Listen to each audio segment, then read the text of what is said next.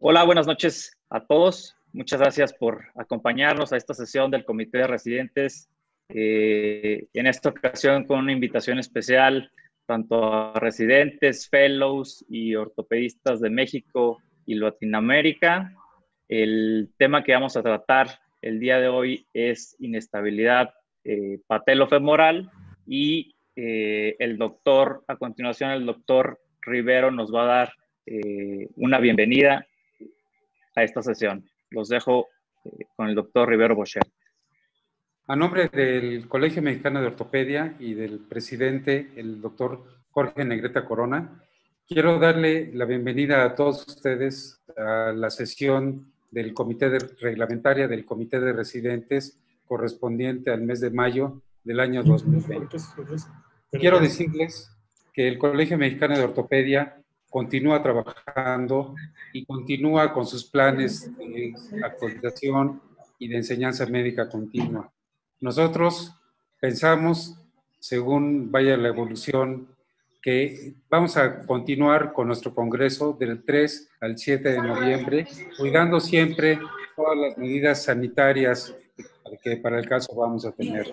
Esto se va a llevar a cabo en el World Trade Center de la Ciudad de México y al cual están cordialmente invitados todos ustedes. Estamos adaptando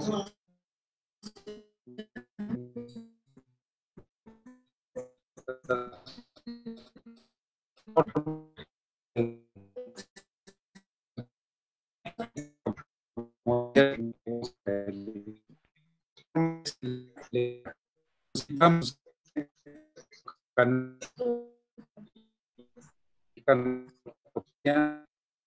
a poder nuestra biblioteca de sesiones reglamentarias, los webinars que estamos organizando y diferentes, invitamos a subirse a nuestro manual digital de ortopedia, que está especialmente dirigido a los residentes, en donde van a encontrar eh, todas las orientaciones necesarias para su práctica y para su enseñanza diaria.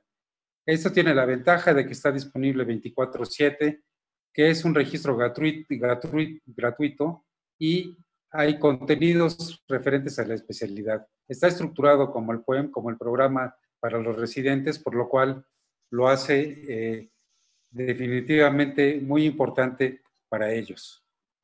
Muchas gracias y continuamos con la sesión. Muchas gracias, doctor Rivero, por sus palabras y por la invitación. Antes de presentar a los panelistas, Quiero agradecer al doctor Alejandro Erce y al doctor Alfonso Migoya por la invitación a coordinar esta sesión. Y pues como pueden ver, el día de hoy tenemos profesores de lujo. Eh, voy a presentar a cada uno de ellos. En primer lugar, a la doctora Lori Hiemstra. Ella es profesora en la Universidad de Calgary, eh, directora de investigación en Banff Sports Medicine. También es eh, o forma parte del grupo de estudio internacional patelo-femoral Lori, thank you so much for joining us tonight. I know how busy you are, so it's a pleasure for all of us to having you. Quiero presentar eh, también al doctor Seth Sherman, eh, cirujano ortopedista, profesor también en Stanford eh, University Medical Center. Él también es miembro del Grupo Internacional de Estudio Patelo-Femoral Seth también, eh, Seth, thank you so much as well for joining us. I know you are also busy like Lori, and we really appreciate your time. Gracias. Thanks for having me. También nos acompaña el doctor Luis Sierra. Él es médico adscrito del Servicio de Artroscopía y Lesiones Deportivas en el Instituto Nacional de Rehabilitación y maestro de, de quienes ahí nos formamos. Doctor Sierra, muchísimas gracias por acompañarnos también. Gracias a ustedes, gracias a todos por estar aquí. Por último, el doctor Salvador Oscar Rivero Boschert, a quien ustedes ya escucharon, él es expresidente del CMO en el bienio del 2012 al 2013 y también médico adscrito al Hospital Médica Sur. Doctor Rivero, muchísimas gracias. Eh, es un placer contar con ustedes en esta sesión. Gracias y es un gusto acompañarlos a todos. Bienvenidos.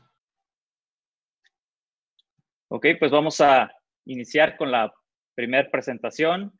Vamos a, hablar sobre la evaluación clínica y por imagen en inestabilidad patelofemoral. Mi nombre es Jaime Palos, terminé eh, la alta especialidad en artroscopía y lesiones deportivas en febrero de este año. Y el objetivo tanto de la evaluación por imagen como clínica es siempre evaluar los factores de riesgo, tanto los anatómicos como los factores relacionados con los tejidos. Sabemos que los factores de riesgo pueden presentarse en distintas combinaciones, eh, incluso dos o más factores de riesgo presentes hasta en casi en el 60% de esta población. En cuanto a la evaluación clínica, siempre es importante interrogar sobre el primer episodio de luxación.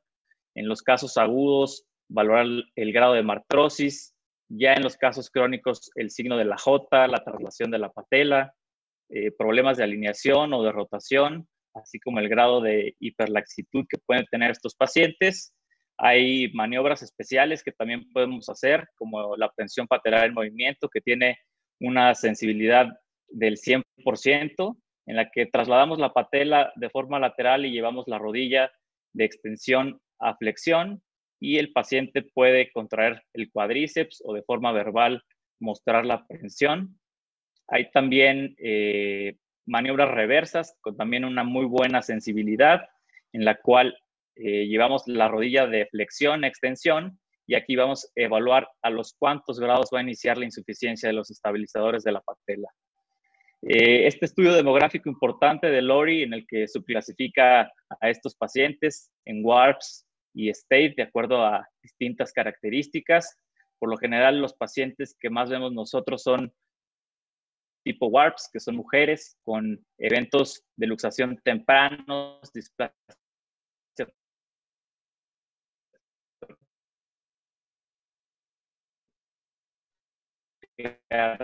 alto grado que utilicemos, en el cual valoramos de forma el riesgo de recurrencia, como en este score del doctor Valkerek, en el que evaluó a, pacientes con luxaciones primarias tratados con manejo conservador. En seguimiento a, dos años, son seis puntos los que evalúa, la edad, la bilateralidad, el, grado de displasia troclear y pacientes que tenían cuatro puntos o más tenían eh, hasta cinco veces más riesgo de presentar luxación. El otro score es el RIP score del grupo de la Clínica Mayo, el doctor Mario Gevesi, en el que certificó a estos pacientes en riesgo bajo, moderado o alto, de acuerdo a, cuatro factores, la edad, la inmadurez esquelética, la displasia troclear y la relación del TTTG con la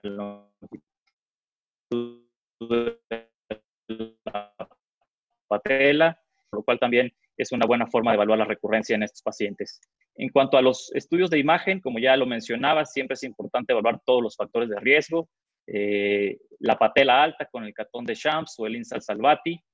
Podemos también evaluarlo en la resonancia magnética con el índice patelotroclear, en el cual vemos ese solapamiento del cartílago de la patela con el cartílago de la tróclea. Y este es un ejemplo de un paciente de 13 años con más de tres episodios en menos de dos años, un catón de Shams de 1.7, un Insal Salvati de 2, y donde vemos que el índice patelotroclear pues eh, ni siquiera va a tener ese solapamiento. Otra herramienta importante es el TTPG. Sabemos que más de 20 milímetros está asociado a inestabilidad, sin embargo, no es una regla. Siempre hay que tratar de individualizar en estos pacientes y saber que las alteraciones rotacionales o el grado de displasia troclear puede llevar a una mala interpretación de esta medición. Lo normal es que tengamos de 10 a 13 milímetros en esta medición y los pacientes que tienen una verdadera lateralización son eh, quienes serán eh, mejores candidatos para osteotomía distal. Como podemos ver en, estas imágenes, tanto la rotación de la rodilla como la displasia troquear de alto grado pueden alterar la medición. Y para eso tenemos otra herramienta como el TTPCL, en el estudio de Seitingler, evaluó eh, pacientes que tenían un TTTG aumentado, no siempre tenían eh, ese aumento en la lateralización de la tuberosidad de la tibia, tomó como un valor de referencia 24 milímetros, sin embargo podemos tener un punto de corte de 20 milímetros y como lo decía es una buena alternativa en displasia troclear de alto grado elimina la rotación femoral y nos habla de una verdadera lateralización de la tuberosidad eh, tibial. Un par de ejemplos más. Esta es una paciente de 13 años con cinco episodios en menos de un año, atleta, con un TTTG de 22 milímetros, un TTPCL de 18, y eh, donde podemos eh, posterior evaluar todos sus estudios de imagen. El problema principal no era esa lateralización, sino una displasia troclear de alto grado, un problema rotacional y secundario a esto, un aumento del, del patelar. Otro ejemplo más, un masculino de 31 años, con una primera luxación desde los 15 años, más de 10 episodios de luxación, un IMC de 32, el TTTG está aumentado, igual que el TTPCL, y en este eh, punto eh, quisiera recordar que es eh, mucho mejor tomar la medición del TTTG con la rodilla en extensión, porque la flexión puede infraestimar esta medición. Otro punto que hay que evaluar es la displasia troclear, que puede estar presente hasta en el 85% de estos pacientes, de acuerdo de YUR. Y eh, este es otro caso, una paciente de 16 años con más de 10 episodios de forma bilateral. Siempre en la radiografía, eh, una buena radiografía lateral, hay que evaluar todos los signos radiográficos de la clasificación de DeJure, medir el spur troclear y tener mucho cuidado con lo que evaluamos en, en la radiografía axial. Eh, por lo general, mientras más flexión presente la rodilla, vamos a ver la tróclea en cortes eh, más distales. Entonces, siempre es importante correlacionarlo, sobre todo con los cortes proximales y no fiarnos siempre eh, de lo que veamos en, el, en la radiografía axial. Otra herramienta para evaluar la displasia troclear es la inclinación del cóndilo femoral lateral con un punto de corte de 11 grados, con una muy buena sensibilidad del 93%. Y por último, eh, el patrón de contusión ósea y, el patrón de ruptura del ligamento patelofemoral eh, medial.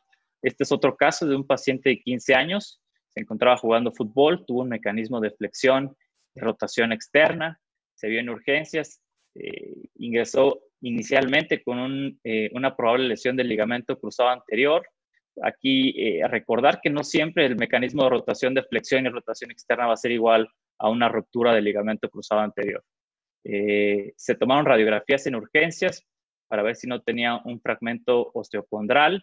Es importante saber que hasta el 45% pueden no ser detectables en la radiografía y decidimos tomar una resonancia magnética donde vimos el patrón de contusión ósea en el cóndilo femoral lateral, la faceta medial de la patela y la ruptura del ligamento patelofemoral medial.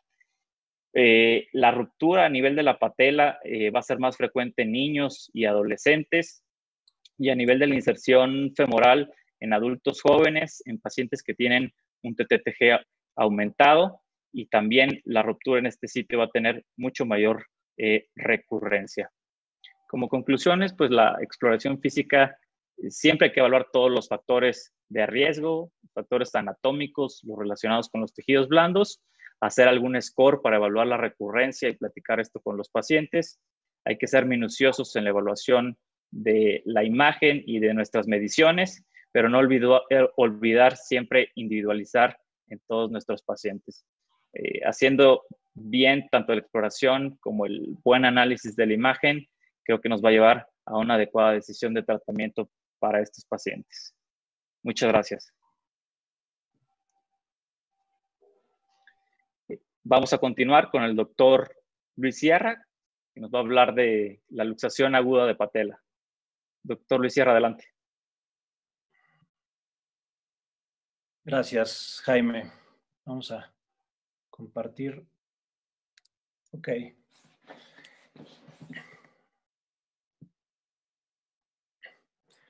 Bueno, pues gracias por la invitación. Gracias a todos ustedes por estar aquí. Yo voy a hablarles un poquito más de eh, algunos tips y trucos que usamos en el tratamiento y en la evaluación de estos pacientes.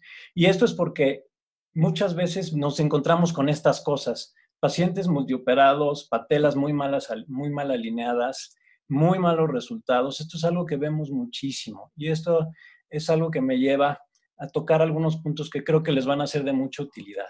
La realidad es que después de una cirugía de patelofemoral, muchísimos pacientes se vuelven a luxar. No estamos viendo a futuro, los estamos tratando de resolver el problema muy rápido y con maniobras muy sencillas y a veces no logramos hacer lo que se tiene que hacer.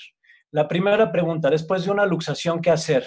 Siempre nos preguntamos, ¿lo trato conservador o lo trato quirúrgico? Yo les diría, siempre traten conservador a un paciente, esperen a que se enfríen las rodillas, a menos y la indicación absoluta es que tengan lesiones osteocondrales. Ya lo eh, eh, eh, dijo un poquito Jaime, cuando tengo lesiones osteocondrales o cuando tengo grandes abulsiones del ligamento patelofemoral, pues es una indicación absoluta para entrar y fijar el, el fragmento, entrar a reparar, y eso prácticamente es la única razón de entrar luego, luego. Si no, mejor lo inmovilizo, me detengo a estudiarlo y veo qué más le tengo que hacer. Y aquí voy con la primera regla y es entender de qué tamaño es el monstruo. Si yo no sé de qué tamaño es el monstruo, no le voy a resolver bien el problema. Y aquí yo creo que esta cosa que hizo Lori es muy, muy importante. ¿Quién se luxó? Esto es algo que tenemos que ver en todos nuestros pacientes. Tenemos que evaluar todo esto, tanto cuestiones físicas, cuestiones clínicas, la historia, las, eh, eh, todos los estudios de imagen que tenemos que tomar y tenemos que armar todo este rompecabezas para realmente entender qué piezas tiene. Esto ya lo comentó Jaime y aquí me parece un gran acierto que ya lo habíamos hecho para el hombro, eh, los, pacientes con TUBS, con AMBRI, con IOS. Aquí lo que hicimos es simplemente eh, dividirlos en dos grupos. ¿Por qué? Porque así los puedo entender mejor. No es lo mismo este paciente que tiene una anatomía normal, y ya lo mencionó Jaime, que es fuerte, que tiene una eh, anatomía, digamos, buena. Normalmente este tipo de alteraciones se ven en hombres, mayormente, en, gente de mayor edad, con ligamentos más rígidos, con un cuádriceps generalmente mucho más fuerte. Normalmente el mecanismo es de mucha más alta energía. La eh, lesión es unilateral y la anatomía es normal. La trocla está formada, la patela está centrada, no tiene deformidades angulares o coronales y el TTTG es normal pero no siempre está así. Esto es lo que quiero hacerles ver. La gran mayoría de nuestros pacientes están así, tienen todo mal, o por lo menos gran parte de estas cosas están mal, y tienen problemas óseos, y tienen problemas en tejidos blandos, y tienen problemas en la configuración de la tróclea y la patela. Y esto es algo que tenemos que voltear a ver. ¿Por qué es importante esto? Porque estos pacientes son mucho más fáciles que se nos vuelvan a luxar.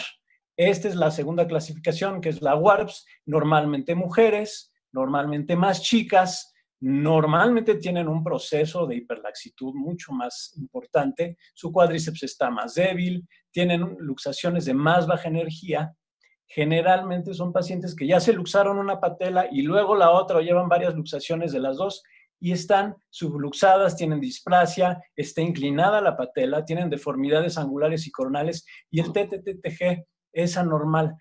¿Y por qué les digo esto? Porque la gran mayoría de los pacientes, por lo menos en México, generalmente nos llegan aquí. Y esto es algo intuitivo, estos no, son números porque no tenemos estadísticas, pero yo les diría el 90% de los pacientes van a ser de este segundo tipo.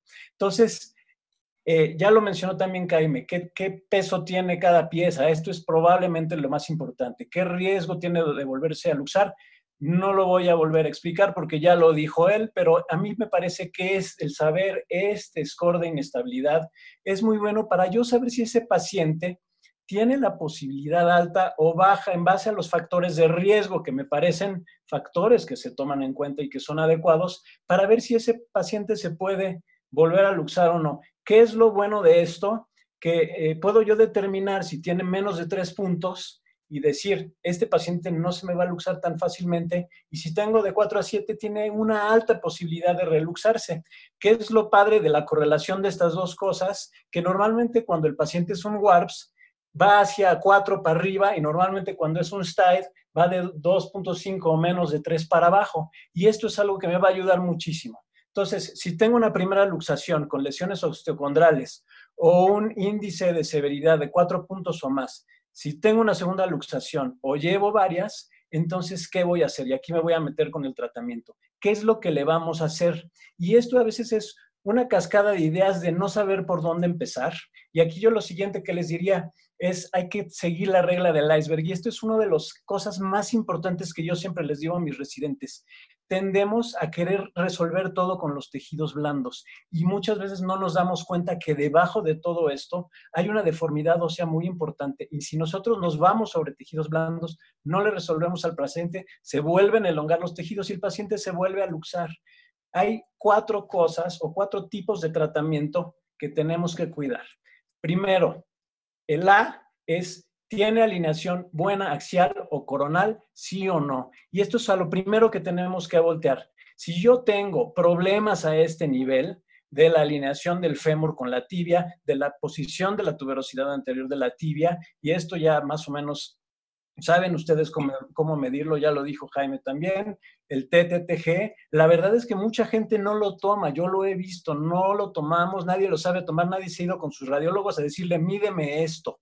O el, TT, TTPSL también es una buena maniobra para determinar más de 20 milímetros. Esto me dice que esto es anormal y que tengo normalmente que hacer correcciones. ¿Qué hacemos en este sentido? Para mí, la tuberosidad anterior de la tibia es un elemento que me ayuda muchísimo para corregir estas cosas, incluso deformidades angulares o rotacionales. Yo puedo adelantar la patela, yo puedo eh, medializarla, yo puedo bajarla incluso si lo necesito y es una cirugía para mí eh, muy, con, muy buenos resultados en muchos casos. Seth les va a hablar un poquito más sobre las indicaciones precisas de todo esto.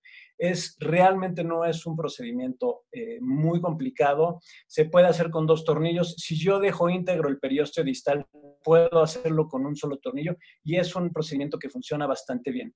Eh, osteotomías balizantes, osteotomías desrotadoras a veces están indicadas. Yo la verdad es que balizantes he hecho un par.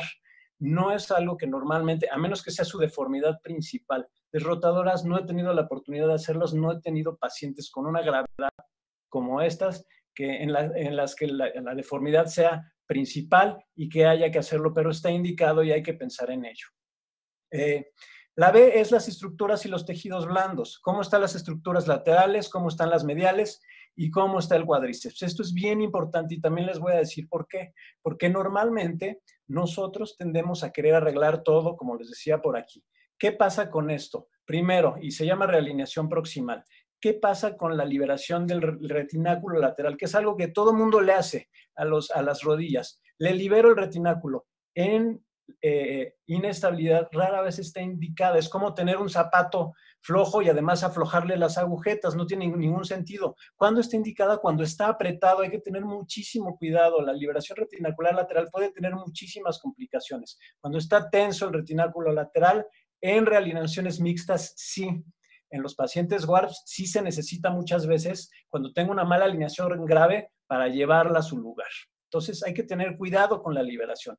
La aplicatura medial tiene sus indicaciones. Aunque yo uso mucho las aplicaturas artroscópicas para problemas de dolor patelofemoral, sí creo, a diferencia de lo que dice Jeffrey Albrecht, yo sí creo que hay que hacer aplicaturas más fuertes. Creo que hay que duplicar el tejido, como ustedes se los enseño aquí, porque de esa manera puedo tener un poquito más de contención. ¿sí? Los avances eh, del, del vasto medial rara vez los estoy haciendo, ya creo que es algo que no tiene tanta eh, indicación en nuestros días. Y la otra es el ligamento patelofemoral medial.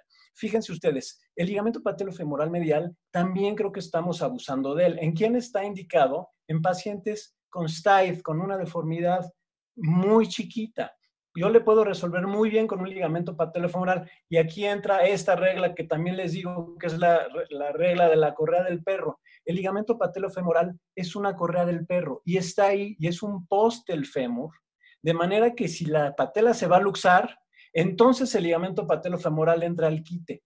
Yo no estoy jalando al perro como si quisiera llevarlo a su lugar. Si yo tengo que jalar con el ligamento patelofemoral medial a la patela, esto no está bien, porque si yo eh, cambio su, mala, su, posición, la posición de la inserción, o cambio simplemente en una patela muy mal alineada, entonces yo no voy a tener un buen resultado y voy a generar rigidez.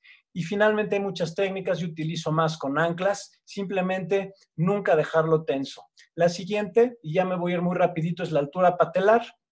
Hay maniobras para hacer esto, hay que ver si está alta la patela, puedo distalizar la, tuberosidad anterior de la tibia, eh, simplemente desinsertándola y bajándola, también se puede hacer expensas de tejidos blandos y finalmente eh, en cuestión de la tróclea y la patela, pues se puede cambiar la configuración patelofemoral medial, está indicada nos va a platicar un poquito más el doctor Rivero cómo se hace esto. Creo que todavía le falta estudio, creo que todavía no tenemos la capacidad de poder adaptar la anatomía troclear a la patela. Eh, a mí me hace mucho más sentido hacer eh, un, quitar un fragmento de la parte lateral del cóndilo femoral medial, hacer un ascenso de la faceta lateral y ponerlo en su lugar. Entonces, estos, como ven, son todas las eh, opciones que tenemos. Y finalmente, para para concluir con esto, es lo que quiero hacerles ver es que tenemos que ver de qué tamaño es el paciente y qué componentes de estos tiene. A veces la decisión se lleva mucho más adentro, ya que hice la artroscopía. Me voy a adelantar por cuestiones de tiempo, les ofrezco una disculpa.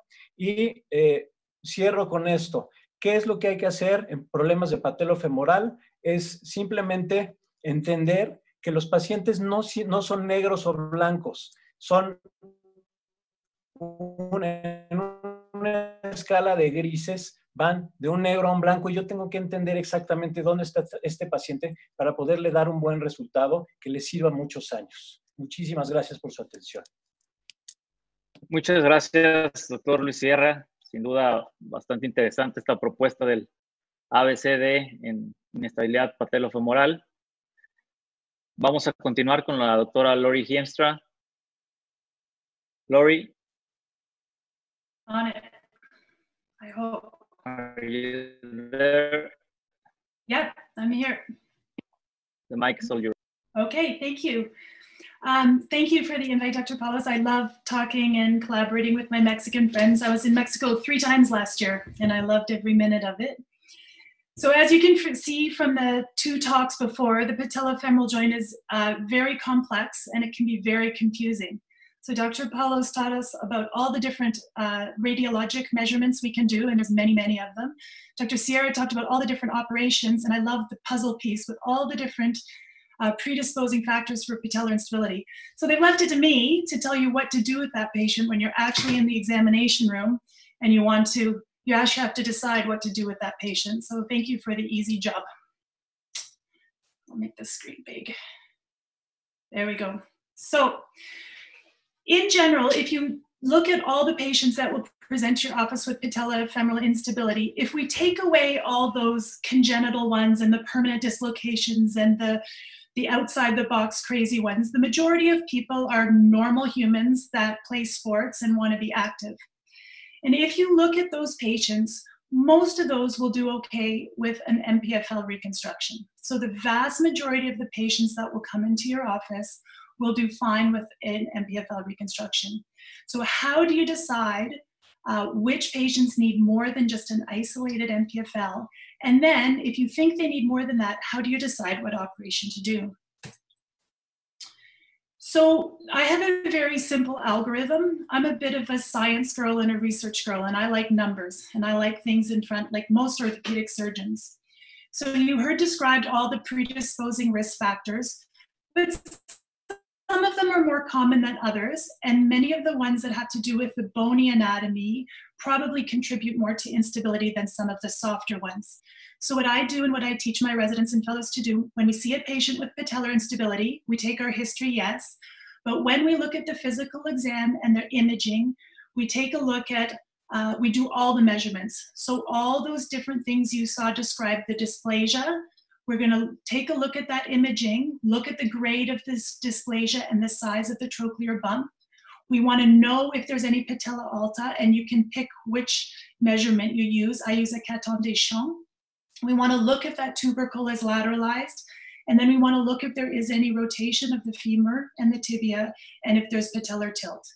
And these measurements will encompass most of the issues you will see with patellar instability. And we're going to combine those with a few other things, but these are the ones we can measure. So some of this has been gone through before. I think trochlear dysplasia is probably the biggest one. I always insist on a true lateral view, and I get most of my information on a true lateral view. If it is rotated, it doesn't tell you very much, so you must have a good x-ray. And it can tell you if there's trochlear dysplasia, and you can also measure the size of the bump, and I'll go over that quickly. And then I always get axial imaging, either a CT or an MRI, so I can see the shape of that trochlea. So if you see here, the yellow line, that's the base of the trochlear groove. The blue line is the medial condyle, the pink line is the lateral condyle. So this is a patient with really no crossover sign and no dysplasia. Here's a patient where the base of the trochlear groove and the medial condyle will overlap. So they crisscross right here, and that's at the anterior border of the femur. So there is your crossing sign right here, and this patient has low-grade dysplasia. If you see now, here's an example of a patient with high-grade dysplasia, anterior border of the femur. You can see the base of the trochlear groove, the yellow line, and you can see where the medial condyle overlaps. There's your crossing sign, and you can see how far in front of the anterior border of the femur that is. So this space right here is actually your trochlear bump. That's actually a three-dimensional thing, though we're looking at it in two dimensions. So this is the information I get on a uh, lateral x-ray. So if you determine your patient has trochlear dysplasia, now you have to, the treatment for trochlear dysplasia, if you're going to treat it, would be a trochleoplasty. So the most common one would be a groove deepening trochleoplasty.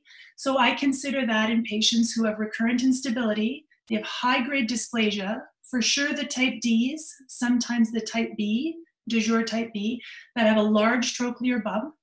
And often these patients have quite a significant J sign. The patella really pops over laterally when they extend. And I do do trochleoplasties primarily. I think if you know the patient needs one, you want to do the right operation the first time. But often I consider it secondary after a failed MPFL. You must have closed growth plates, so this is not appropriate in a child. And I always combine it with a soft tissue stabilization, so that would be with an MPFL reconstruction. So that's trochlear dysplasia. TTTG distance, everybody knows what this is and it's been described. Again, we measure that. My issue with the TTTG distance is that when you measure it, what does it tell you? Where is that abnormality? So the tubercle is down here, the trochlear groove is up higher on the femur. So really, if the TTTG number, the distance is abnormal, it's just telling us there's something wrong between these two yellow lines. It doesn't tell us where it is. So just because the TTTG distance is increased doesn't necessarily mean the patient needs a tubercle osteotomy. It could be um, because they're, they have trochlear dysplasia and their trochlear groove is medialized.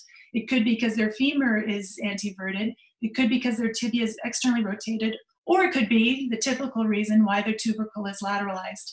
So I like to try to sort out which one of those things is causing the increase in TTTG. So I use that number as a red flag and it triggers me to just think a little bit more about where the deformity is. So the TTPCL distance, I also measure in every single patient. I know if there's a problem in that sagittal plane, and the TTPCL distance can tell me if it's because the tubercle is lateralized. Patella alta, we all know the measurements, and there's already been nice slides showing patellofemoral engagement. There's a lot of new papers out just recently looking at what should be our threshold for addressing patella alta. And the reality is, is we probably really don't know.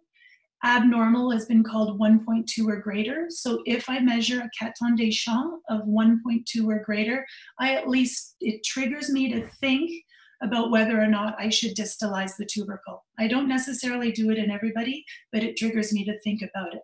So I'll take into consideration the patellofemoral engagement.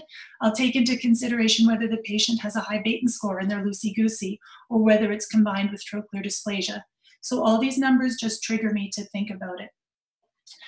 The assessment of rotational abnormalities is difficult. I usually look for it the most on my physical exam. So you might see this patient when you get them to stand or walk and you think, oh, they, they look varus but actually she's not varus. She's hyperextending her knees there. If I ask her to stand with her knees straight or just at zero degrees of flexion, so knees straight, you can see that her femurs are actually rotated or her tibia is externally rotated. If I ask her to point her feet out so her patella are pointing forward, you can see her rotation abnormality. So this patient clearly does not have varus, they have a rotation problem. So again, the numbers for what rotation is abnormal varies and nobody really knows. I do a clinical exam in the supine position. If their hip external rotation is greater than 70 degrees, and if their external rotation is 30 degrees greater than their internal rotation, I call that abnormal from a clinical perspective. In general, we tend not to address version problems in a primary procedure. It's very hard to convince a patient whose patella has dislocated three times that you need to cut their femur and rotate it and reattach it.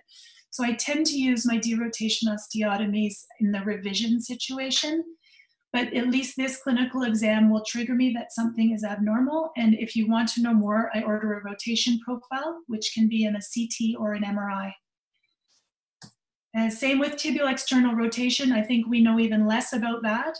Um, but if we note clinically that there's the uh, foot thigh angle is increased, I note it and I put it down as one of the uh, pathoanatomic risk factors. And I have done a few derotation osteotomies of the femur. Again, axial imaging will let you measure uh, that number. So I'm a numbers girl. You see, I like numbers. So again, we've made, we know what our risk factors are. We're going to make all those measurements. And in my chart, you will see numbers for each one of these. So I write down all the numbers and then I take a look at what's abnormal. So if, if the display, if they have dysplasia, I try to decide which of these abnormal numbers is contributing the most to their instability. Then I look at the patient. So we want to take into consideration how bad their symptoms are. We want to know how much their demand is. Are they a soccer player or do they just want to walk to school and home again? We want to take into account a little bit the patient's psychological profile. Are they up for a big, huge operation? Will they be able to tolerate it? Um, I look, I put a lot of stock in the J sign. So if that lateral pull is so significant that their patella pops laterally, just putting a soft tissue reconstruction in there is not going to hold that in place. I think that was your dog and your leash pulling, wasn't it? So the uh, we can't just put soft tissue if there's big lateral pull. So I take a, and then finally I take a, um, a look at their Beighton score because I think patients that are loosey-goosey are at higher risk for everything. So I look at all these numbers, I decide which are contributing the most, and then I see what's my tolerance for what I will do to this patient. So if everything is abnormal, I'm not going to do a trochleoplasty, uh, tibial tubercle osteotomy, MPFL reconstruction, a derotation osteotomy. That's crazy. Like no one would do that much surgery. So you have to decide where the biggest bang for your buck is. I don't know how you translate that into Spanish, but where the most money is, where you can get the highest value for the operation you do for somebody. And then my other principle is always fix at the site of the deformity. So for all your studying of Dror Paley and deformity orthopedics, his mantra is fix at the site of the deformity. And this is why I kind of get all riled up when people say the TTTG is high, therefore we do a tubercle osteotomy, because that may not be where the site of the deformity is. I might sometimes do it because I'm just not willing to do a different operation or the patient has arthritis and it's not appropriate to do a trochleoplasty. But at least I always try to fix at the site of the deformity. And if I'm not doing that, I know I'm not doing that or uh, doing that intentionally. And then the final thing that hasn't been covered too much yet is um, the tilt. So I think exactly like was said, we don't want to pull the patella into the groove. So I always assess tilt uh, I do look at the axial imaging and a tilt greater than 20 degrees, again, is my red flag trigger me uh, to consider that tilt, but really it's the clinical evaluation. In a reduced patella, reduced in the groove, can you um, untilt them to neutral? And I'm fairly liberal now at doing a lateral retinacular lengthening. I release only if I can't do a lengthening or I'm just not willing to make another incision on them, but for the most part, I will do a lengthening to untilt that patella, let it sit nicely in the groove, and then put in an MPFL. So make all your measurements, figure out what's abnormal, figure out which ones you want to correct, and then fix at the site of the deformity. So just a really quick case, I want to show you a good example. This was a 16-year-old girl with um, lateral patellar instability, minimal ALTA, slightly elevated TTTG, but a normal TTPCL. Uh, she had quite significant tilt and high grade dysplasia with a big J sign. This was before I did trochleoplasties. And so I did what probably most people do in this situation.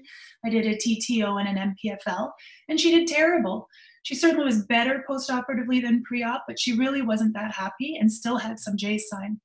So when she came back to me for her other knee, we took a better look at her uh, risky anatomy, and we uh, felt that the dysplasia was probably the one thing contributing to her J sign rather than that TTTG, and probably causing her TTTG to be slightly elevated. So on her second knee, we did a trochleoplasty MPFL reconstruction, and she did great. And here's just a uh, a J, oops. Oh, there. Did I lose you? There. Could you see that? I disappeared from you. For yes, yes we can see it's it fine. and we hear you, Dr. Laurie. Okay, sorry, you guys disappeared for a sec. Yeah, so you can see on the one knee, she still has a residual J side. On the knee with the trochleoplasty, no J side, and much better post-operatively. Wait, and then the second knee, we could change and, and do that. And thank you very much. Thank you so much, Laurie. It's a very nice case and also a very nice algorithm. I'm sure there's going to be a lot of questions about it. But let's move forward with uh, Dr. Seth Sherman. Seth,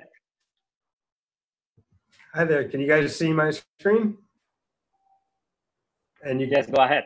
and you can hear me. Excellent. So Yes, So we do. Yeah, fantastic. Uh, really appreciate the invitation. Uh, this has been an outstanding uh, series of uh, talks.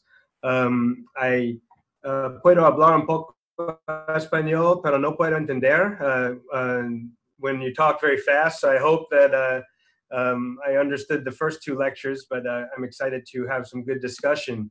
Um, let me move my slide forward. It's not advancing. Okay, there we go. Um, just want to thank my mentors in uh, patellofemoral and cartilage restoration. Uh, you may recognize some of these uh, gentlemen. They've been down to Mexico and uh, South uh, and Latin America. Uh, John Fulkerson, Brian Cole, Jack Farr, Andreas Gomoll, Christian Lattermann, um, Bill Bugbee, and Bert Mandelbaum, amongst many others uh, who uh, have really uh, paved the way for me in the way that I think about this um, in the patellofemoral world. Um, just to show you, I did the AOSSM SLARD uh, tour, uh, the No Sleeping Fellowship tour, as Moises Cohen uh, would tell us in 2017. So I have a real special place in my heart uh, for Latin America. Uh, this is uh, us catching a, Sabado in Isla Holbox. So I can't wait to come back and do this in person, hopefully, for an extended period in the future. Uh, the age-old question is what's the best way to treat patellofemoral problems? And uh, that's why we're all here tonight. Uh, and most of the time in america people try to refer to someone else. Um, uh, you know this has become a very hot topic and uh, we have become the someone else. The more you do patellofemoral the more you it and uh, it really uh, becomes an addiction and the patients will come to you if you set up your practice and of uh, these patients and you can get good outcomes. Stick to principles the way the other speakers uh, and i will hopefully uh, share tips and pearls. Um, i think some big differentiating points that we all are hitting on is that we need to treat the joint as a whole as an organ. We need to think about alignment stability and some of the things I'll talk about with tubercle osteotomy is how to treat or unload the cartilage or chondral surfaces. Uh, the things that with a tibial tubercle osteotomy, we can correct malalignment, instability, chondrosis or cartilage problems, or what we'll focus on here is combination problems. Uh, this was a infographic that I did recently with uh, Jack Farr, and it summarizes many of the concepts that I will hit on over the next few minutes. Uh, we developed a biomechanics model at the University of Missouri before I went to Stanford. We were able to see what normal contact areas and pressures look like. We were able to manipulate this model so we could change variables such as TTTG greater than 20, and we can see what happens to the forces on the cartilage. I think as you get this lateralized vector, the force goes up on the distal lateral cartilage surfaces. We've heard about the effects for TTTG on instability. Now we can think a little bit about the cartilage surfaces. We also know that a Fulkerson takes load off of that distal and lateral patella and normalizes it. When we do uh, tibial tubercles, we're talking either medial flat cut like an Elmslie-Trillat or different variations of anterization and medialization as you see here. The steeper the slope, the more unloading of the cartilage, whereas a medialization can be done purely to correct those abnormal values that were so nice. Alta, we've learned about why it's important for instability, um, but it's also important for cartilage. You can see that when you have patella alta, the distal cartilage is overloaded. And when you correct patella alta, it normalizes those forces. So I think this is the background by which we can kind of evaluate what procedure to do and when. So just to make this hopefully easier, what are my indications for T and patella instability? I would say that an isolated means for instability alone is very rare in my practice these days, and I think that's supported um, by the literature or lack of literature. TTTG greater than 20 is equal to a TTO. We need to think more broadly, use the tools speakers have talked about so eloquently uh, to help us. However, when we combine anteriorization and medialization, a Fulkerson, we use that fairly often, mostly to unload cartilage lesions. And then another way I use it is when I have combined distalization and medialization uh, for severe patella alta and also a lateralized force vector. Noting that when you distalize, there also is some medialization inherently built into the system. And this is a paper that Bill Post and Don Fithian uh, put out uh, shortly uh, uh, before that really shows again that there's no evidence just to indicate isolated medialization and certainly not just on TTTG alone. There is, however, support for an anteromedialization, particularly if there's lateral overload with arthrosis or chondrosis. However, I do still have some times that we can discuss where I do consider this medialization. Clearly, I'll need abnormal values, TTTG greater than 20, TTTG greater than 24. I also measure them every time. I think about a patient who's young, bilateral instability, low energy dislocation. They may have a subtle or a real J sign. They may have those other types of trochlear dysplasia, the A or C, uh, that may not be perfect candidate for a trochleoplasty, and these borderline values of alta, so not greater than 1.4, but a combination of risk factors. And maybe they failed prior surgery, like this girl who had low energy, recurrent bilateral dislocation starting at age 12. She had a J sign. She has these abnormal values, as you see here um, and she failed prior soft tissue surgery. She will not do well without a bony procedure in combination with her soft tissue procedure. So for me, she actually did well with a medialization and a soft tissue stabilization. You can see her opposite side, she still has subluxation and tilt. And we plan for a future bony and soft. I think it's interesting how I continue to evolve on this as Laurie did. Uh, do we move the, the uh, tubercle, you know, to center the patella? Or do we start thinking about moving this medialized groove lateral? And so I think that we're continuing to figure this out over time. For chondrosis, we've seen from John Fulkerson the correlation between location of cartilage defects and outcome. We've seen the effects of an isolated anteromedialization and how powerful this can be. And so here's kind of what this looks like. If you have a distal lateral defect, we can do an AMZ plus soft tissue stabilization, and we don't even need to uh, do anything to the cartilage surface. However, if you have these large medial or panpatella defects, we need to combine the osteotomy also with cartilage restoration to get excellent results.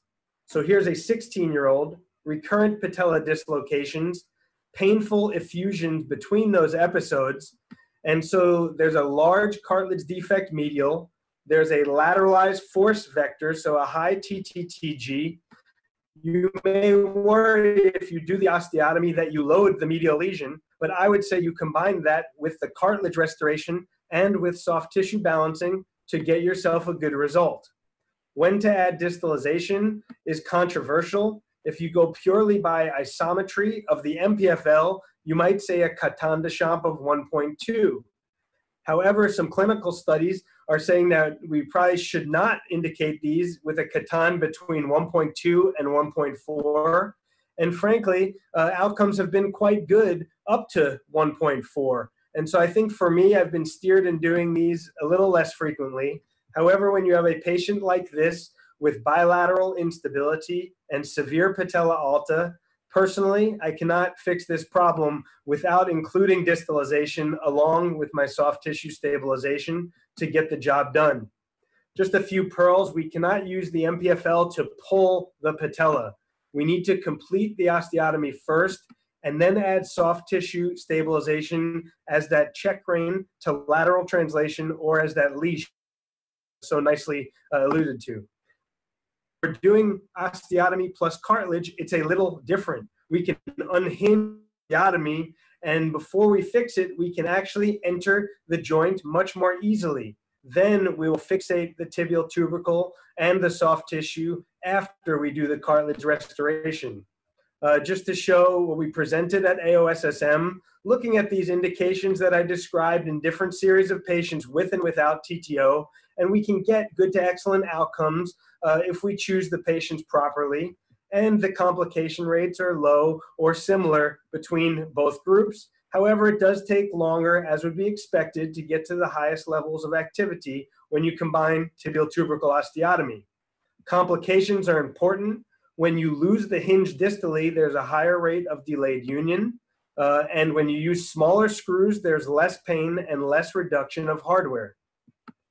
When you have that complete detachment again, there's higher risk of complication. These are unflattering pictures of mine uh, that have happened and can happen to you. So I would be careful in your technique for distalization. Uh, when we do just a medialization or an anteromedialization, the risk of this is way lower than a distalization using standard techniques. Which leads me to my final slides, which is uh, showing future directions. Uh, this is Al Merchant, uh, who's a wonderful thought leader in patellofemoral. He created a different type of tibial tubercle osteotomy, um, which uh, you can see the cuts are inside the cortices. Uh, they are not um, uh, the similar cut as a classic Fulkerson, and you can see you can use bone graft um, to secure this as needed. but his system has allowed for three plane correction. You can really dial in precisely anterization, medialization, distalization, or combinations uh, of these factors. Uh, and so it's been quite useful uh, for me. Uh, I think in the interest of uh, time, uh, we can end it there and go to discussion. Um, but I do have videos of this technique, and if the collaborators would like to share my contact information with you, I'm happy to show those to you because I think this and other evolutions of osteotomy techniques uh, are quite uh, exciting. Um, so to close, I think that uh, TTO is a powerful tool to correct malalignment in the setting of instability and or chondrosis. These indications and techniques are evolving very rapidly. I think if we choose patients well, we do the surgery um, with good execution, and we adhere to appropriate rehabilitation, then we have an opportunity for an optimal outcome. And I thank you very much for your attention. I will give these slides uh, to the leaders so that they have them. Uh, there are references of ours uh, that you can uh, dive deeper into this topic. Uh, and muchas uh, gracias para todos. Thank you so much, Seth, for your talk. Very nice. I'm really looking forward for the discussion. Vamos a continuar eh, con el doctor Rivero Bochert. Sí. Gracias. Hemos visto unas pláticas realmente impresionantes de cómo visualizar este problema de la inestabilidad patelofemoral. Y a mí me corresponde hablar eh, en concreto nada más acerca de la troqueoplastía, probablemente de las indicaciones y de algunas de las técnicas. La exploración física, como se ha puntualizado en todo el webinar, es importante y la alineación en el plano coronal y el perfil rotacional de los pacientes es muy importante, lo que nos va indicando y lo que nos va precisando la necesidad de hacer procedimientos óseos para tratar la inestabilidad patelar. La exploración física es eh, de suma importancia para poder conocer exactamente cuáles son los signos clínicos de la inestabilidad de la paciente y cuando estamos pensando en una displasia, generalmente vamos a encontrar problemas de aprensión, desplazamiento lateral a más de 45 o 60 grados y el signo de la J que como nos explicaba Lori, eh, puede ser corregido con la trocloplastía. La evaluación radiológica se ha profundizado mucho en ella. Presentación en pantalla, Chava. ¿Mandé? Presentación en pantalla completa. Sí, es cierto. La exploración radiológica eh, es importante para poder evaluar tanto el centraje de la rótula como eh, la altura de la rótula, que es importantísima factor condicionante para la presentación de la displasia. Y las radiografías axiales nos van a dar exactamente la forma de la trocla femoral y nos va a poder hablar acerca de las indicaciones precisas de realizar una trocloplastía. También en una tomografía en los cortes axiales nos podemos fijar precisamente en las características de la rótula, de la tróclea y en la profundidad de la tróclea y tanto las medidas del cóndilo medial como la altura del cóndilo lateral y las distancias del centro de la tróclea hacia el borde lateral del fémur. Y eso es importante para tomar en cuenta en el momento de las decisiones quirúrgicas. También nos van a determinar las angulaciones y la profundidad del surco, lo cual es una característica importante para la indicación de realizar eh, este tipo de cirugía, la troqueoplastía. A mayor altura de la rótula, mayor displasia en el surco y esto se debe precisamente a un origen embrionario. Si desde el embrión la rótula se presenta alta, no existe el estímulo mecánico para la formación de la tróclea con los movimientos de flexoextensión. Y esto es determinado genéticamente, ya que la rótula y la presencia de la compresión de la rótula va generando estímulos mecánicos para la formación de la profundidad de la tróclea, ya sea desde la etapa embrionaria hasta como eh, durante la infancia. Y generalmente hay una combinación de estos factores. La correlación entre la inclinación patelar y la distancia TT-TTG también es muy importante. Ya habíamos visto o vimos en las pláticas anteriores cómo tomar las decisiones acerca de qué procedimientos hacer y qué no hacer. Se habló también y hablamos, profundizamos un poco sobre la clasificación de Ayur de la displasia troclear. La displasia tipo A, en donde eh, la profundidad de la tróclea es mayor a 145 grados, pero existe todavía tróclea y probablemente la inestabilidad se deba más bien a problemas de partes blandas más que a problemas de partes óseas. Pero a partir del tipo B, donde eh, ya la tróclea femoral es plana y empieza a existir un espolón supratroclear, ya hay signo del cruce positivo y tenemos una tróclea plana, ya podemos hablar de una inestabilidad de origen óseo. No se diga más que en la C, en donde ya existe una prominencia importante de la parte lateral de la tróclea y hay una displasia medial importante, y en la tipo D, en donde existamente existe hasta un tope, hasta el signo de eh, una caída importante de la tróclea que nos está determinando una deformidad importante. La indicación de una trocloplastía es una inclinación lateral o negativa de la tróclea con inestabilidad, con una displasia severa del surco y generalmente se hace en forma combinada, como lo veíamos en pláticas anteriores, aunque en algunas ocasiones puede ser una cirugía que se realiza solo, pero generalmente se asocia a otros procedimientos óseos como la osteotomía de la tuberosidad o como plastías del ligamento patelofemoral medial. La técnica realmente desde el punto de vista eh, quirúrgico es realmente artesanal. Incluye hacer una profundización del surco, primero hacer un corte coronal subcondral de más o menos de 5 milímetros que nos permita el moldeamiento de este fragmento osteocondral y después hacer con una fresa o con un osteotomo una profundización de un corte en B, aquí como se ve en el diagrama, moldeando el fragmento. Antiguamente, y la técnica original de De Jure, se utilizaba una fijación con grapas y ahora se está utilizando otro tipo de fijación. ¿Cómo calcula uno el corte? ¿Dónde deben ser los cortes? La técnica original de De Jure eh, habla de un abordaje medial, subvasto, para una exposición adecuada de la, la tróclea, haciendo una luxación lateral de la patela y exponiéndola adecuadamente. Y se marca la articulación, haciendo una línea proximal desde el surco, más o menos con unos 3 o 6 grados de inclinación lateral, y después delimitar las líneas lateral y medial eh, proximales al surco cóndilo troclear de los dos lados para no interferir con la articulación femoropatelar. De ahí, en los rebordes, de, se hace una osteotomía periférica con cincel en todos los rebordes osteocartilaginosos, dejando un espesor aproximadamente de 5 milímetros para poder moldear este fragmento que vamos a desprender y debajo de él hacer una profundización en un ángulo de 15 a 20 grados para tratar de tener un ángulo normal de una tróclea normal.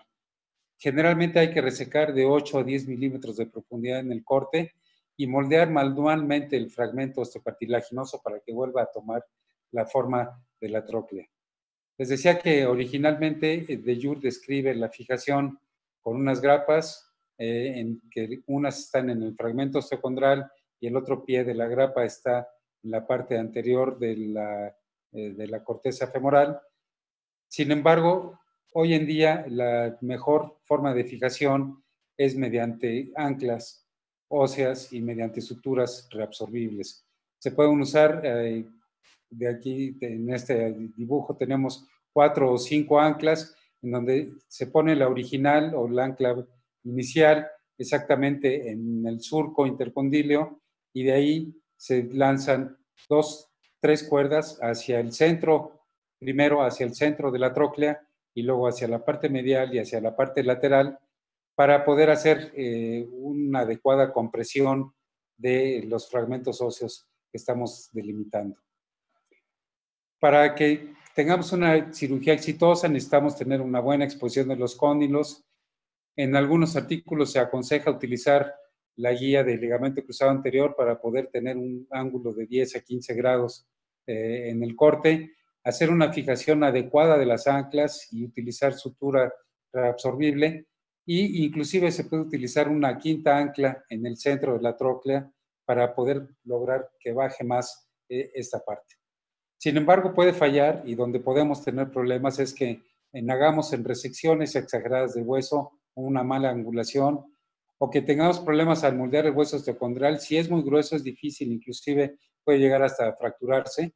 La sutura puede llegar a cortar el cartílago o si tenemos una mala presa de las anclas. Todos estos factores quirúrgicos son importantes de tomar en cuenta en el momento de hacer este procedimiento, que generalmente se coadyuvan ya sea con una plastía de partes blandas, un balance de partes blandas mediante la sustitución del ligamento patelofemoral o una osteotomía de la tuberosidad tibial cuando tenemos problemas de mala alineación distal del mecanismo extensor. Hay que inmovilizarlas por dos semanas, hacer un apoyo parcial con muletas a las dos semanas e iniciar la movilización activa y empezar con una fisioterapia alrededor de las cuatro semanas para poder recuperar los arcos de movilidad. Algunos resultados de los que están eh, descritos en la literatura en este artículo publicado en el 2012, se ve que los pacientes, desde el punto de vista funcional, de acuerdo a la valoración, tienen un resultado de regular a malo desde el punto de vista objetivo. Sin embargo, la satisfacción subjetiva del paciente y la estabilidad subjetiva del paciente se obtiene pues, prácticamente en tres cuartas partes de los pacientes que se les hizo este resultado aislado. Hay una comparación, un estudio sistemático en donde eh, se hicieron de 459 eh, rodillas, 329 le hicieron trocloplastía y 130 nada más hicieron algún otro procedimiento como realineación distal o plastía de ligamento patelofemoral distal. Ambos tratamientos dieron buenos resultados. Sin embargo, la troqueloplastía fue superior para evitar la reluxación y sobre todo para evitar el problema degenerativo articular secundario a esta inestabilidad crónica de los pacientes. También esta revisión sistemática publicada en 2016, en donde se buscaron 14 artículos donde incluían plastías de ligamento patelofemoral medial, osteotomía de la tuberosidad y, y. Todos, en todos los casos, con estas tres cirugías, los pacientes habían tenido una mejoría funcional con fallas eh, funcionales hasta del 8.8%. Los procedimientos óseos se realizan principalmente en pacientes con displasia o con mala alineación distal. Hay más complicaciones en las osteotomías y debe ser un procedimiento combinado dependiendo de la anatomía personal del paciente. Esta técnica está indicada solo en displasias trocleares graves, generalmente como coadyuvante a otros procedimientos como realineación proximal, plastía del ligamento patelo-femoral medial o osteotomías de la tuberosidad tibial, como vimos en las pláticas. Es una técnica eh, relativamente artesanal que tiene una curva de aprendizaje y que los resultados objetivos siempre son mejores, como en todos los problemas patelofemorales, que los objetivos. Sin embargo, puede no llegar a prevenir la osteoartrosis y se recomienda tener cautela al indicarla. Muchas gracias. Muchas gracias, doctor Rivero. Sin duda la troqueoplastia es un tema bastante interesante. Eh, vamos a iniciar con la ronda de, preguntas y la discusión. I, will try to summarize some of the audience questions for all the panelists. So can I start uh, with you, Laurie? Or maybe this is an, an open question. Do, do any one of you use a score to evaluate recurrence in these patients? to talk first about recurrence? Sorry, I don't understand the question. Use. A, do, a do you use a, a score, score, for recurrence? Uh, not no. I can. Uh, okay. I can make some points to that. Um, yeah. I think in general. Yeah, ahead, sure. Can you hear me? Yep in general, uh, after a first time dislocator uh, without a loose body, uh, you know, I think it's very prudent to do a risk stratification. So for me, I get MRIs. Uh, and then I look at many of the risk factors, you know, our colleagues talked about. Uh, you can use uh, Dr. Hevesi's, you know, RIP score is available online, so you could use that, or some of our other colleagues' risk factor scores. Um, and that will at least help to counsel patients uh, whether or not you might consider early soft tissue stabilization. But for me, that is still a very rare uh, thing to do uh, without a loose body in a first time dislocator. Okay, perfect. Dr. Sierra, I, I you talk with that, patients? I believe that these scores are useful, uh, but just to have an idea of of who you're in front of, of who you're treating. Uh, if you have a first time dislocator, probably it's, it's not a big deal if you do the score or not. If you have a multiple uh, dislocator, probably it's a good idea to take into account this kind of scores just to take a look at what, what you're, you have in front and, and take a look at if you have a good anatomy, you know, a, a patient or a worse patient, what do you have in front? And then you can have the, the, the principal picture of that patient, know what's the, the uh, mean deformity, and then uh, you can plan better your, your surgery. You can give the patient a little more uh, chance to have a good result if you do this thing. So I think, uh, especially if we're, we're talk, talking to residents, I think we, you should do that just to have a better idea of what, what you have in front of you. Okay. Dr. Rivero, any comments on, on this? Well, it's very important to know well the patient and to know what are the risk factors of, of the patient they have. so to decide what's the proper surgery that is indicated in, in. Okay. There's a, a, a bunch of questions about trochleoplasty. So I want to ask Laurie, how, how do you avoid all these uh, complications after trochleoplasty? So um, I've done a, about a hundred trochleoplasties now, and I tend to, I've refined my criteria. So the patients that do the absolute best are actually the youngest patients.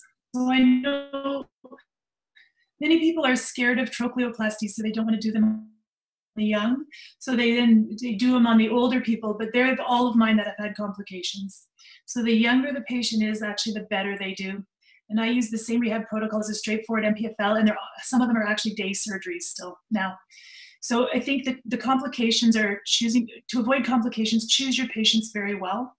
Uh, I think if you have any arthritis in the joint, it's a salvage procedure, and you really have to temper your expectations and make sure that patients' expectations are appropriate.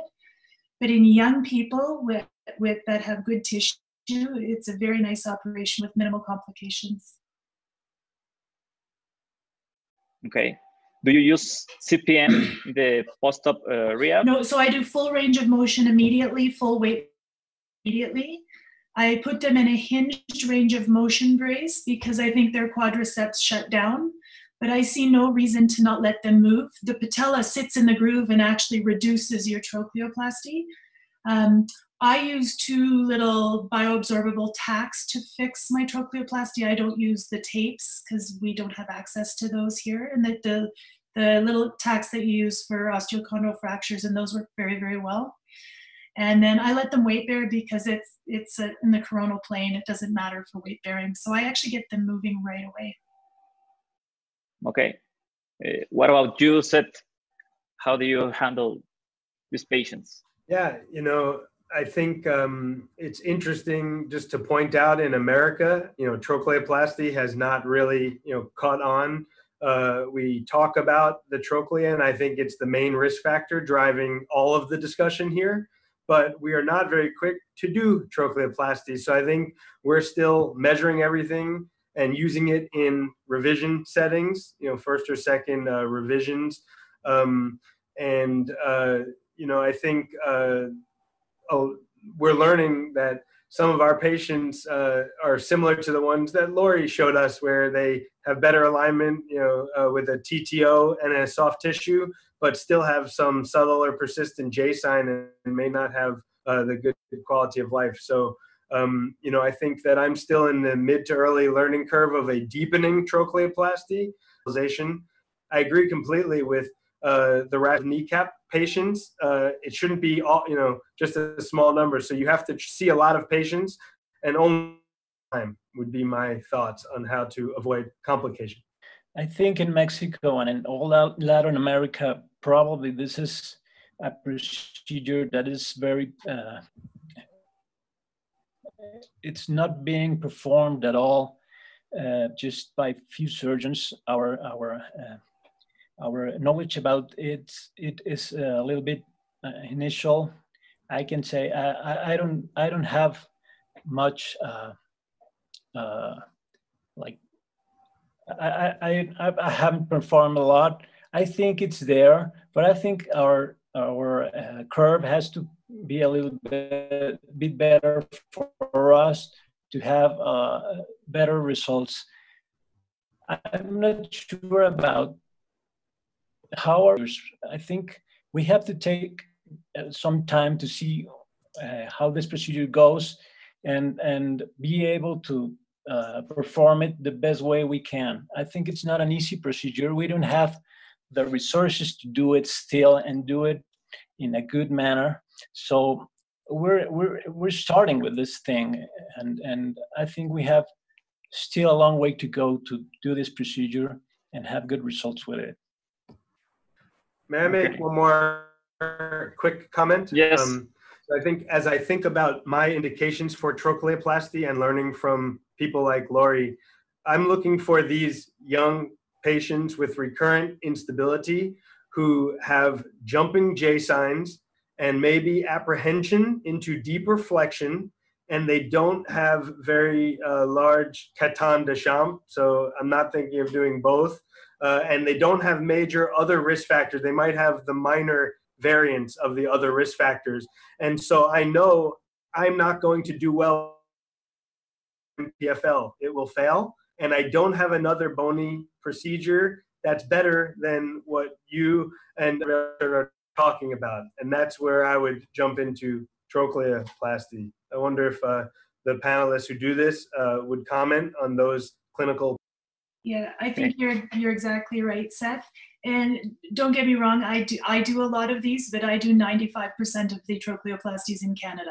So I think you want uh, one or two wow. people in each area that are very good and see a lot of patients. As it, it's a technically difficult operation, and so the more you do, the better you get at it, and and then you broaden your your criteria. So I would do a trochleoplasty now on someone that I probably wouldn't have considered on five years ago, just because I've gotten better at it. So I totally agree with Seth.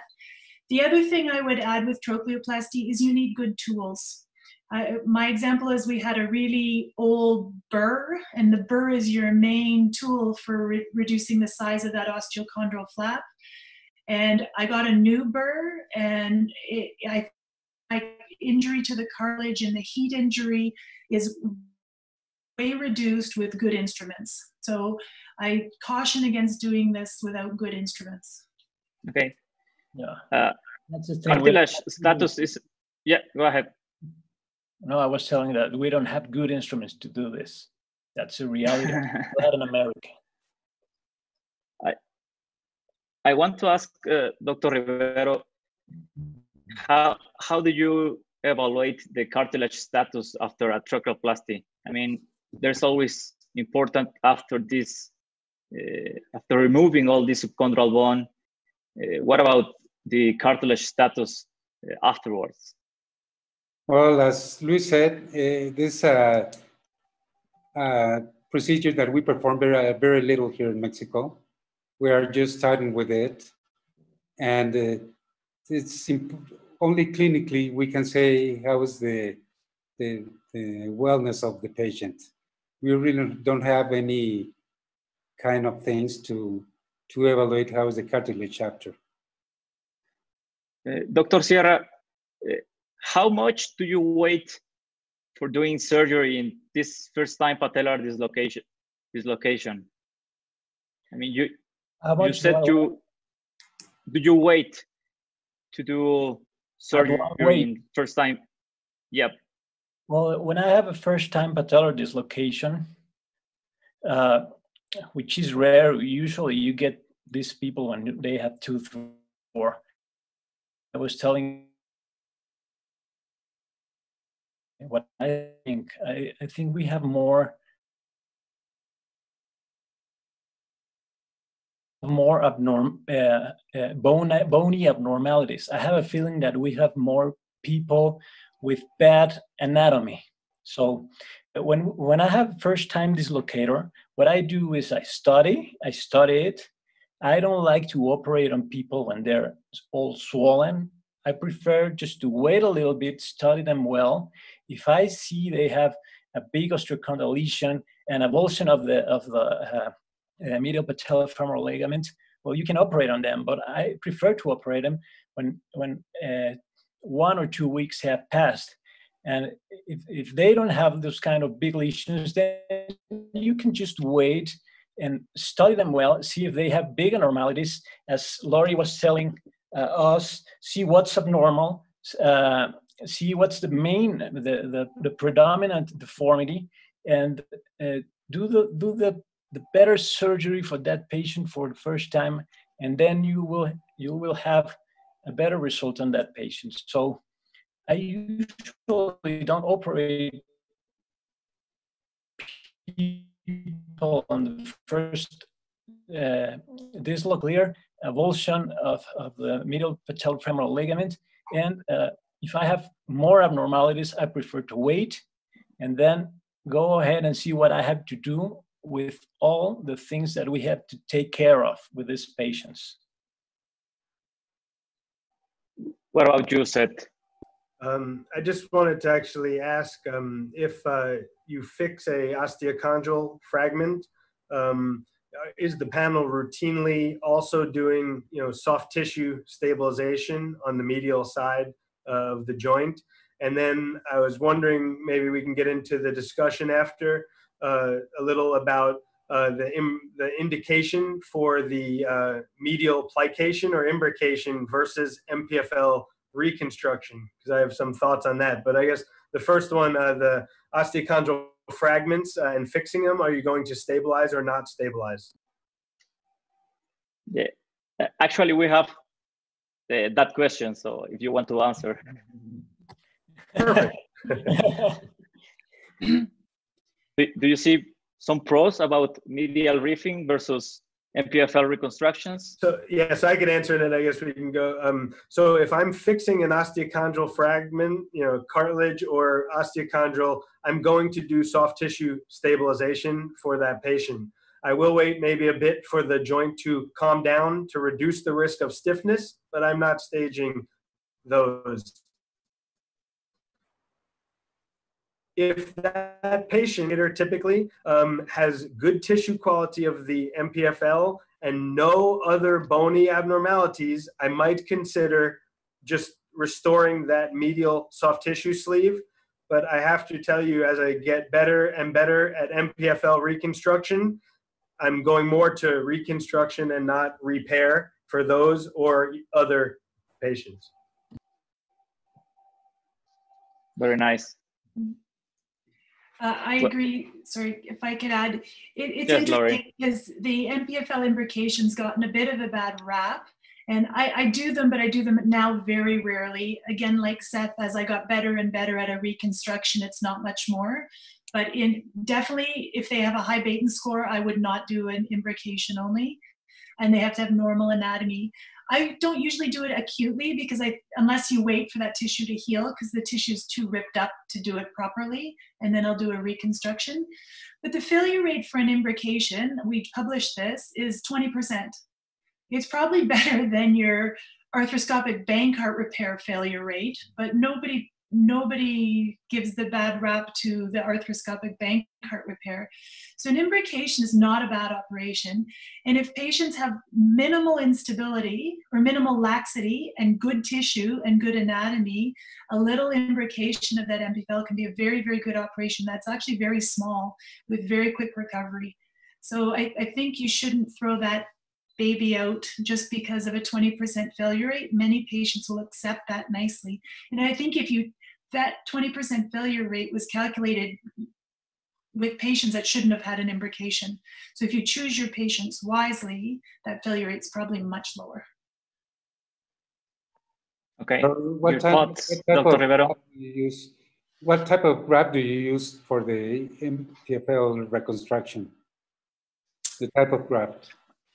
I use a gracilis mainly. I use some allograft in, I've been trying allograft in my high Beighton patients, my very loose patients, but my go-to is a gracilis. Hmm. I, I tend to use uh, allograft because it's readily available. There are obvious problems with cost. I worry about taking hamstrings in young loose jointed females uh, because of the neuromuscular abnormalities and it's also extra articular. So for me, allograft is a good solution uh, uh, to the problem. Mm-hmm. Thank you. Okay. So, Laurie, you, you said you, you resolved the vast majority of these patients with MPFL reconstruction. And also Dr. Sierra said he we, we are we are overusing these MPFL reconstructions. What are your thoughts about this situation? So, my thought is uh, any patient who has instability needs an MPFL reconstruction, and you add other procedures if necessary. So I think your MPFL reconstruction is your mainstay. That's how you stabilize. The other operations improve the biomechanics, they improve the anatomy, but they don't stabilize the patella. So to me, if you do an isolated TTO, like Seth says, I, I, I don't even think I do them anymore. I do them for pain or I do them for malalignment, but not for instability. Uh, I think the, the ones that are more stable after uh, just a TTO, I think someone just got lucky and they aligned them perfectly enough there and their muscles are good enough, they stay in. But I think all instability needs an MPFL soft tissue procedure, imbrication or reconstruction in addition. Yeah, to, to me, the uh, MPFL reconstruction is by far and away the workhorse of patella instability. Uh, and I um, will add bony procedures to that, but not instead of that. Um, one interesting point which Dr. Sierra brought up, uh, I think when he did his bony realignments, then he did a plication to restore the resting length of the soft tissue that's different than just doing it without correcting bony malalignment. And we need to study and report that group separately, in my opinion. So again, there may be a role with no abnormal malalignment or corrected malalignment for it, but not, um, you know, not in isolation. Um, and just to say it one more time, I think I saw it in translation. Uh, there is no role for isolated lateral release as a treatment option for patella instability. So uh, you can use lateral lengthening or release to get your patella centered before your MPFL, but not alone. So I think everybody got that, but uh, I just wanted to make sure. can I, can I Sierra. Uh, I was telling that you were we're abusing of uh, medial patellofemoral ligament reconstruction because of one thing. I think in Mexico, or probably in Latin America, we are using it for everything. Well, I've seen that. I've seen a lot of people use the patellofemoral ligament reconstructions, and and they just try to pull the patella and put it where it should be, and that's not good. I do a lot of uh, tib- tib- tibial osteotomies along with medial reefings, and I think that's that's a very very nice procedure. I I am not um, satanizing uh, medial patellofemoral ligament. I am only saying that probably most of the surgeons don't have the ability to put in the femoral part when it, where it should be, and I'm seeing a lot of uh, stiff joints because of bad uh, uh, technique of this procedure. So it's a great procedure. I, I, I do it. I do it. But what I'm saying is, it's good if you have a good anatomy, and that's not always the case.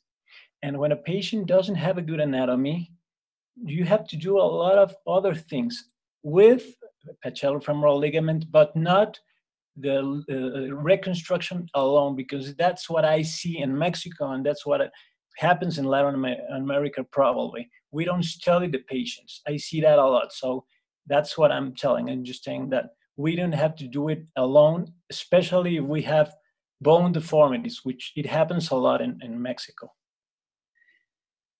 Yeah, I think the point yeah. is that you, the MPFL reconstruction is the workhorse in a reduced patella. Yeah. So the patella must be reduced in the groove. So whether you need a lot of people doing just uh-huh. I think this is the this is what we have to teach is, is yeah. you can't you can't do a poor reconstruction with a bad tunnel and you can't use it if you're if it's not sitting reduced. One comment on the the regional variation, I think that's very very true for patellas. So when you talk to David Dejour uh, in France, they've been fixing every patella since the dawn of time and you know, 100% of his patients have a family history and family members with patellar instability. I live in Canada where everybody is an immigrant. We've all come from all over the world, and I have a very different population than other places. So we have a lot of dysplasia here. 50% of my patients have high grade dysplasia. Um, we don't tend to have a lot of lateralized tubercles. So I do a tubercle osteotomy in maybe five to 10% of my patients. I actually do trochleoplasty. I probably do 15 trochleoplasty a year. So I think the regional okay. variation is very true with different racial groups. Yeah, that's right. Dr. Rivero, do you have any comment? I just want to ask if you associate the uh, patellofemoral ligament reconstruction with uh, lateral release of the patella or without? Or this is for Seth? Yeah, so um, I am always assessing uh, the tightness of the lateral retinaculum, the patella tilt, and the amount of glide from lateral to medial. Uh, I can also assess it arthroscopically. Uh, and in general, uh, if I feel that it's too tight laterally, I will cheat my incision more to the midline. That way I can do an open lateral lengthening at the same time as preparing my medial border of my MPFL. Um, I'm not typically doing arthroscopic lateral releasing uh, any uh, at all uh, in these procedures. Mm-hmm. Thank you. Okay. We, we have a lot of questions about your tips and tricks in doing the MPFL reconstruction. What about you, Seth? Yeah, I think uh, that's a great point. Um, there are many different ways you can get it right. Um, I don't think you need to do all of them, but you need to do most of them. I think for me, at least, uh, I tend to use fluoroscopy initially, a large C arm. I find Schottle's point, and that centers my incision over the femur. Then I dissect down from the patella to the femur. I can use an Allis clamp and pull up on that tissue and actually feel the MPFL origin. So I use anatomy that way. John Fulkerson makes a little bigger incision, finds the adductor tendon, and uses that as a landmark. So using anatomy. And then, most importantly for me after that, is using the sutures from the patella down to a pin on the femur and checking isometry.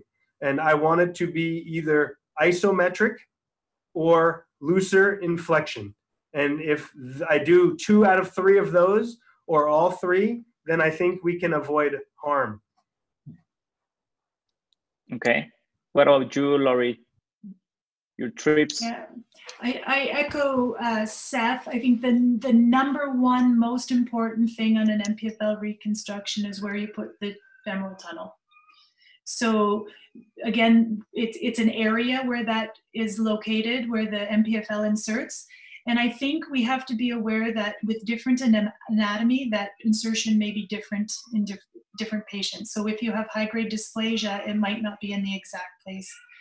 I do not use fluoroscopy. I'm not against it, but I think you can be fooled I've seen people use fluoroscopy and the femur's rotated and they're like, look, I'm in the right spot. I'm like, but you're rotated. So fluoroscopy, fluoroscopy is great if you have perfect rotation on your femur, you have a perfect lateral. Um, I palpate, I make a little incision, I feel adductor tubercle, I feel medial epicondyle, and then I stick my pin in, but I think the most important is checking those biomechanics. So uh, Cory Edgar did a study where he used fluoroscopy and he used palpation. And with both of them, 20% of the time, if you looked at the biomechanics, it still tightened in flexion and he had to adjust the pin. So I think both fluoroscopy and palpation and anatomy get you in the ballpark, but you must double check those biomechanics exactly like Seth said. Okay. Do, do you scope the knee after the, the MPFL reconstruction? I do. So I make sure the patella is centered. I'm not sure that that makes me feel good. So I can say good job, Laurie, but I'm not sure, I'm not sure you will see subtle differences in tension on the graft or location from that, but you'll see the patella centered. Another point, uh, I would much rather be uh, a little loose or too loose than too tight, yeah. uh, as Dr. Sierra alluded to. So um, you can either fix it in a little deeper flexion. That's you know fine, um, uh, but you want to make sure you have a good check rein. Uh, if your pin, uh, if you're too tight on your isometry testing, the move is to move the pin distal and posterior in most cases to get a little more favorable isometry. Yeah. Okay. Dr. Sierra. Uh, I agree with them, with uh, Laurie and Seth. I usually use a gracilis tendon also. I uh, fix it with anchors in the patella with two suture anchors, not uh, screwed in, but I use suture made out of suture, and I just put the tendon by the side of the patella. and then I do I do an incision there, and then I do an incision uh, between the epicondyle and the adductor uh, insertion. I just palpate it, and I put just as they said, I put my pin in there, and then I kind of wrap. I I pull I pull the sutures down, and then I just wrap the tendon around the pin, and I take a look at how it moves it is, if it's too tight in flexion, I tend to move it distally and posteriorly. And that way you can uh, uh, assure that, that you are going to have uh, a, a patellofemoral ligament that's not too tight in tension, which, which I think it's what happens most of the time. So that's how I do it. I don't use fluoroscopy. I just do it anatomically like, like they do. What about you, Dr. Rivero?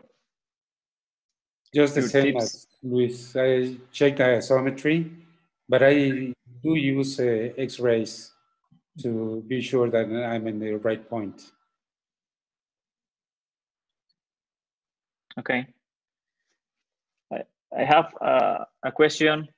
Uh, in distal dislocators, like in 40 to 60 degrees, do you think is a, a proper indication for trochleoplasty, Laurie? So, um, I, so I think that's one of the indications. So, so like I said, you have to take everything into consideration. And this is sometimes why, you know, I'm at a meeting and people quick show me an x-ray or show me a CT scan and say, what would you do? And I can never tell them because I, I, I've seen trochlea that look terrible and I'm like, ooh, that looks like a trochleoplasty. And you go in and the patient's functioning well, they're doing great, they're playing uh, college basketball, they've dislocated a couple times and they don't have a big J sign. Well, I'm not going to do a trochleoplasty in them. So I'm always uh, humbled when I go in and talk to the patient. That's I actually have to look them in the eyes and, and see how disabled and see what the J sign is like. So my algorithm works to sort out the, the bony anatomy, but then you have to add the, the physical exam and the patient characteristics in there too. So I, I can, I'll never answer that question on one, one piece of information because I think you need to put it all together. And I actually think you need to look sure. someone in the eyes. I completely agree. Uh, I think if you're talking about someone who continues to dislocate into flexion, um, then you're thinking about uh, patella alta as one potential cause. Uh, obviously, you know you're thinking about trochlear dysplasia as well. Those patients dislocated an extension, but also flexion, right? That's different than a flexion dislocator, which is a different animal, uh, and that has more to do with some soft tissue contractures, sometimes of the quad, and may need to have lengthenings of the soft tissues. So teasing those two groups out uh, is very important. Okay. Yeah, Dr. Rivero. Go Do you think that trochleoplasty can prevent osteoarthritis of the patellofemoral joint?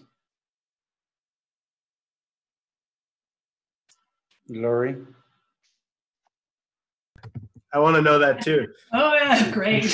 why, why did put on the spot? um, I actually think that's an, that's an awesome question. Um, we know who does patellofemoral arthroplasty? Not me. Not me.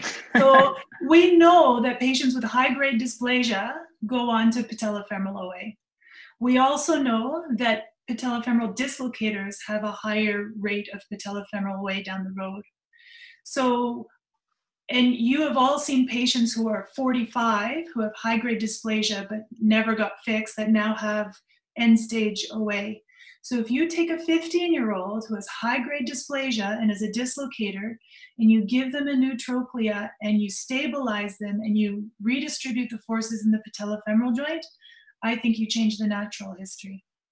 That'll be very difficult to prove, but how, like, if we mm-hmm. know they're going to have arthritis, this is partly why I, I don't quite understand why people are so afraid of trochleoplasty. Um, you need to come visit me and see some because you won't be so scared of it. But um, we know those patients are doomed to have arthritis. They're unstable and they have high grade dysplasia. So, yes, there's a risk to the cartilage if you don't have good surgical technique, but we know they're going to get arthritis anyways.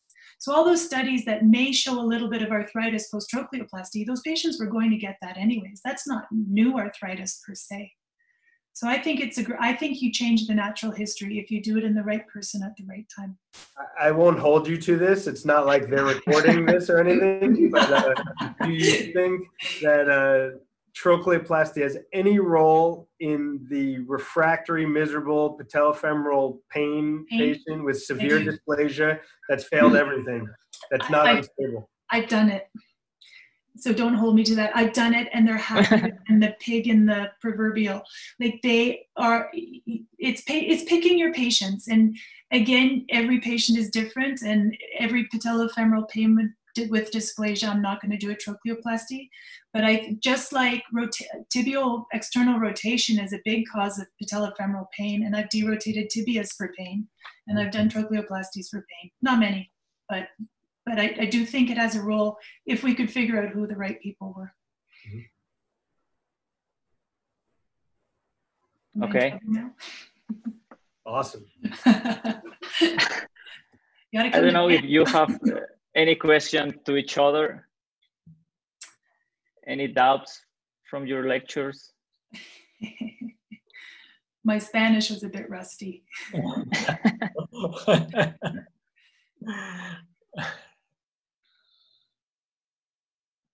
Dr. Sierra, no, would, you like to? I think we have to ask something. Uh, most important things we we wanted to tell, probably the ones who are on the other side. Uh, I just want to say that we have to study the patients well.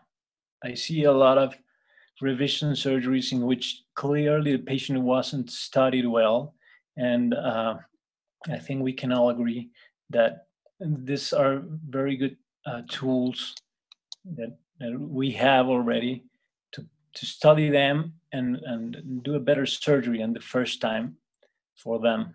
And that's, I think, uh, we touched all the points that we uh, wanted to, and I'm happy with that. I don't have, I don't have uh, more comments about that. Okay.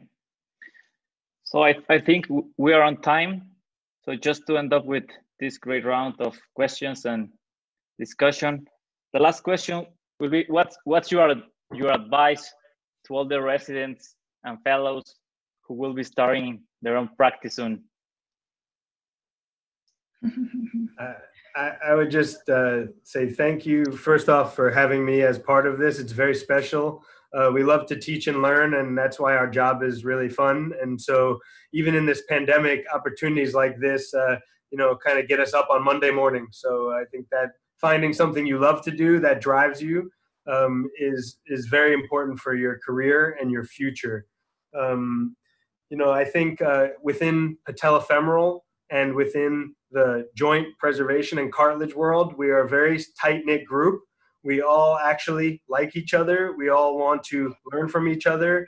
And we frankly are available to the young people. Uh, i all the people that i had pictures of uh, on there you know took me in as a young kid uh, and helped bring me into this field and so i think we're all open to doing that for anyone who shows an interest um, uh, and so we welcome you to get involved i think would be my take home very nice. Laurie? Uh, well, thank you also for having me. um, I think uh, know know what you know and know what you don't know, and I, I think if if you take that to heart, I think people get all all worked up like back pain, get worked up about the patellofemoral joint, and try to think of it logically. What's wrong? How can I fix it?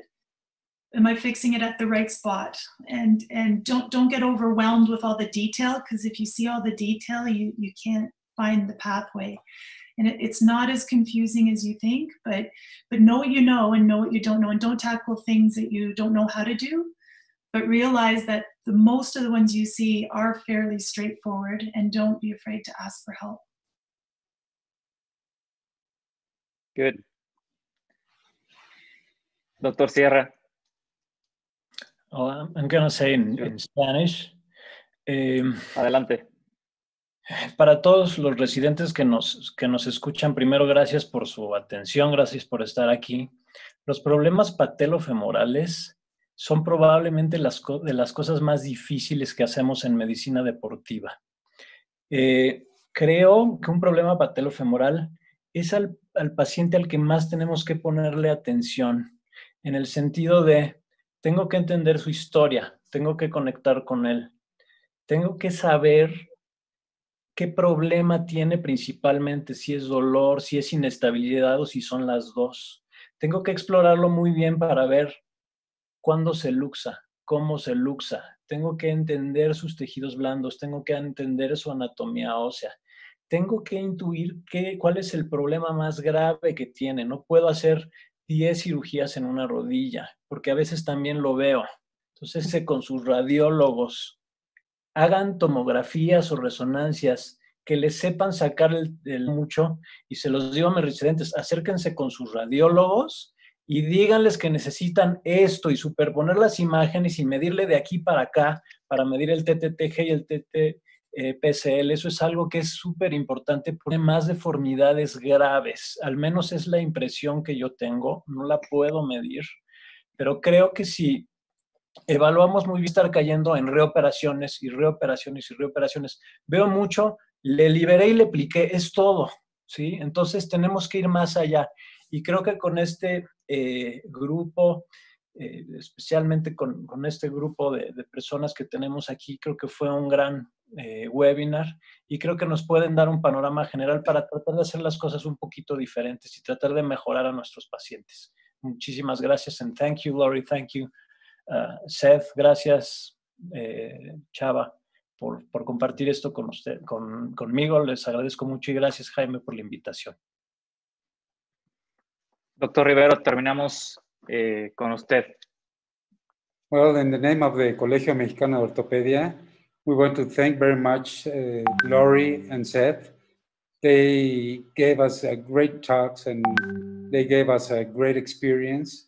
And we are sure that we're going to capitalize it, it for our good.